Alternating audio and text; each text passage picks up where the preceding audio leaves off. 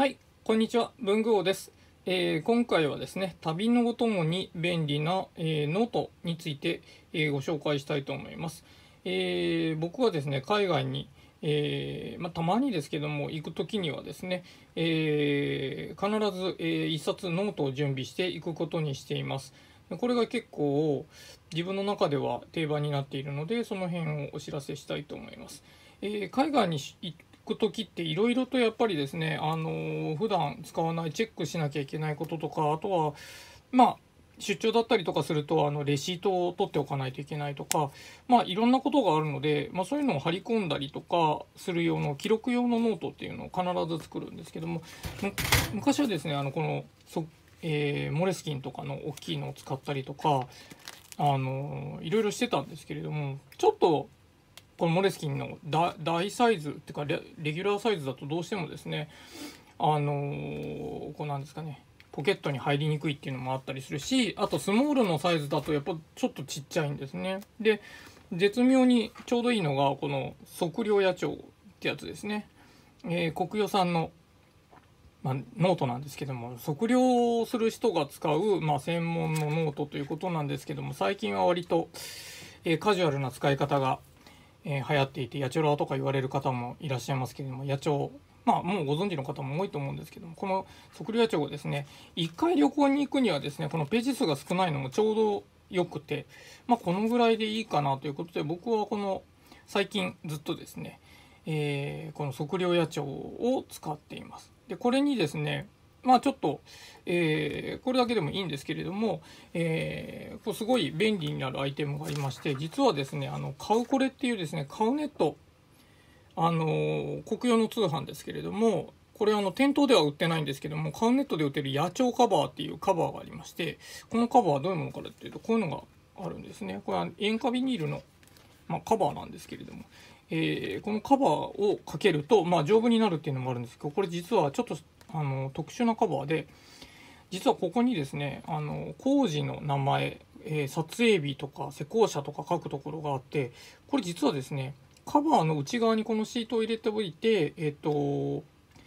のホワイトボードマーカーで書くとですね、えーまあ、書いたり消したりできるよということであのボード代わりに使えると。でそれがノート汚さないようにもう一枚ペロッとこのカバーする用の透明シートがここについていますよというのがこの表側の方についています。裏側普通に引っかかってるだけなんですけどというカバーなんですね。でこれがですね実はちょうどよくってこれをつけてあげるとまあ最近ずっとこうやってつけてるんですけどもこれつけるとすごい便利で何かってまずあの丈夫だしあの汚れなくなるんでまあこれも安心感なんですけれどもあの、まあ、このサイズのいいところの一つはあのポケットに出し入れとかをザクザクやってもまあ全然平気なので、えーそういうところでですねサイズもちょうどいいんですけどもでここでですね開けるとですねここにあのこの透明シートがある状態になります。でこの透明シートがあるのでここにですねあのチケットとかをペッて挟んでおくとこれでまあ大体落ちてこないんですね。で、えーまあ、見せる時にもこうパッと開くとそのままこう見せることもできるし、まあ、バーコードなんかだとこのままスキャンできるんですね。あとこれをこのまま出そうと思ったらこうペロッてやるとこう取り出すのも取り出しやすいと。あともうちょっとしっかり入れときたいものはこの、えっとところがポケット代わりになるので、まあ、ポケットが1個つくと思うとこれだけでもすごい便利ですね。ということでこのカバーをつけておきます。でカバーをつけると。であとですね、あの旅行に行く時には必ず、えーまあ、前準備というかをしていくんですけれども前準備まず一つはあの工程表みたいなものを自分で作って貼っておいてあとはですね、えーまあいいチケット飛行機なんかのチケットの予約のものですね、まあ、今電子的にあのスマホでも乗れたりはするんですけれども最悪飛行機に乗れないだけは避けたいので紙でもプリントしてあります。あとホテルとかね、まあ、この辺はこうやってですね、えー、とホテルの予約とかえー連絡先とかそういうものを一応書いてあります。で、ここ前の方はこれを貼っておいて、で、後ろの端はですね、あの、自分のパスポートの、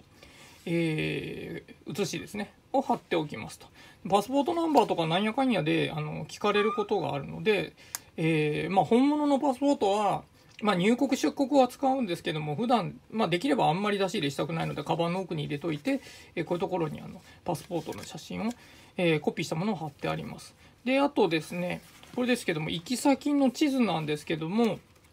これも今あの Google マップとかで大体行けちゃうんですけれども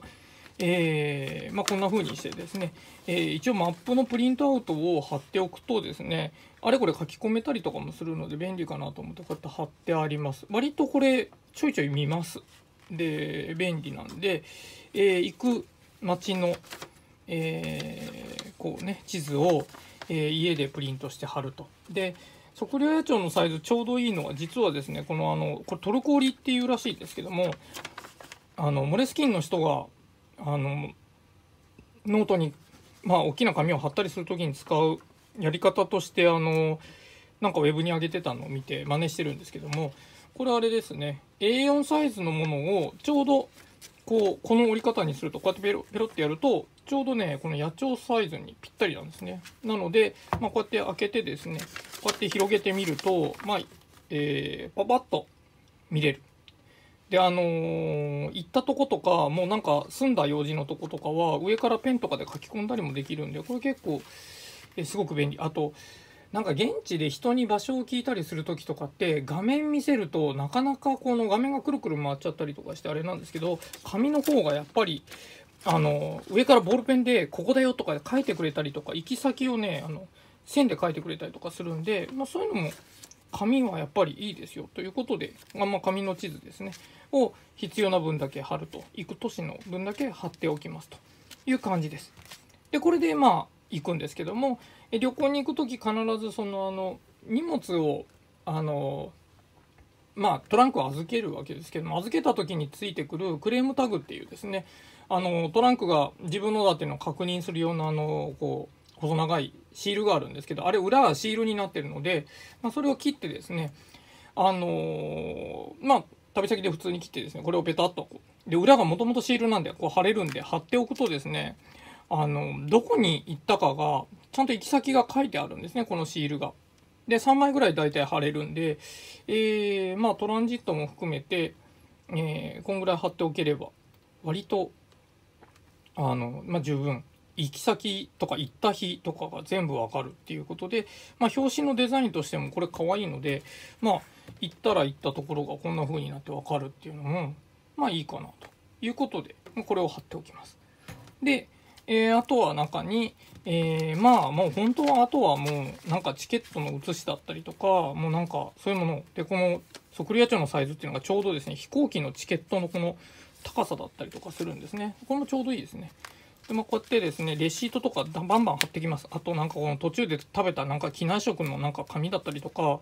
なんか美術館行った時のなんかこの、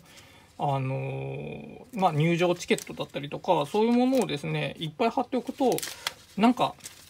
後で思い出す時にああそこあそこっていうのが分かるんですね。あと貼った時にまあどこで何買ったかとかはまあ書いておくとレシートに書いておくと後で申告する際にも便利なのでまあこんな風にして貼りますよという感じです。まあ、あとはもう本当に普通のノートなんでバンバン貼っていって持って帰るとまあこんな風になってえー、1回1冊なのでこうやってやるとですねいつどこに行ったっていうのがノートとしてはすごく分かりやすいのでこれをまあ、取っておくと、まあ、思い出にもなるしで後で、えー、報告書なんか書く時にも便利なんで、ね、いろいろあの反省点とかもこういうとこ書いておくんですねメモって書いておけばいいかなと思ったりはします。ということで、まあ、いろんな使い方ができますよと。で、これに、まあ、さらにですね、持っていくと便利なものとして私がいつも持ってってるものが、えー、一つはですね、えー、ドットライナーホールドっていうですね、こんなでかいの持ってくのかよっていうのもあるので、えー、でかいなと思う人は、あの、ちっちゃいタイプのテープのりもあるので、その辺を持ってくといいかなと思います。えー、とにかくチケットやなんかを、ここにいっぱい貼ると。で、めんどくさいの嫌なので、ホテルでバンバン貼ったりするときにはこれを使いますよというのが一つ。あとは、まあ、切らなきゃいけないものも出てくるので、そういう時はですね、今回、まあ、スティックタイプのハサミ何でもいいんですけども、今回は新しく買った黎明富士の、えー、これですね、ペンカットプレミアムですね。っていうのを持ってきました。これあの、こう、こうやってシャッてやると、わかりますかね。ここの部分でシャッてやると、こう、輪っかが出てきて、これ普通のハサミみたいにちょきちょき切れるので、これ割と、えー、今回の旅では活躍しました。ハサミ1個あると便利ですよと。ただしこれはあのね、手荷物持ってると色々とあれなんでトランクに入れておきますと。いうやつですね。であとはですねこれあのキングジムの切ったっていうやつなんですけどもこれはこうやって開けるとこの幅に切ってある、まあ、マスキングテープなんですけども1枚ずつこう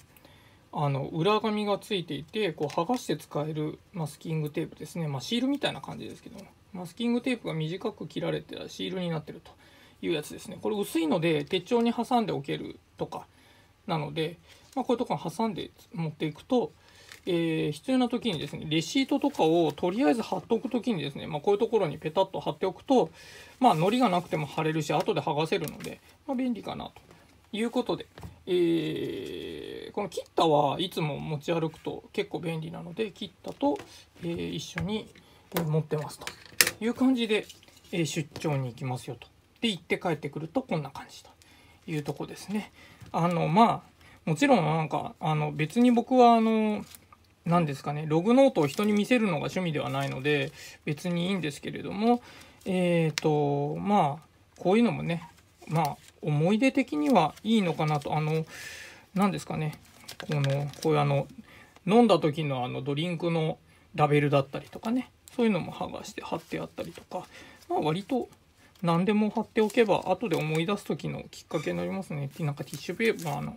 ペロッて剥がしたやつとかこんなものを貼ってあったりしますよと。ああとねここあの飛行機のチケットを貼ってあるとこなんですけどもこれがですねあのえっと飛行機に乗るとあのなんか飛行機の航空会社のガイドが入ってるんですけどもあそこのところをですねもらってきといて、えー、自分が乗った飛行機の、えー、機体まああののえー、ところを切り抜いてここに貼っておくとですねあどの飛行機に乗ったかっていうかどのタイプの飛行機に乗ったかが分かるっていうね。まああの別にどうでもいいっちゃどうでもいいんですけどもこんなものを貼っておいてますという感じですね。でこれが毎回1旅行1冊できるとなんだかんだで、えー、後でいつどこに行ったかで何を買ったかあと、まあ、どこに泊まったかとかが全部わかるようになってるので、まあ、旅の記録としてであんまり大げさにしたくないので、まあ、このぐらいが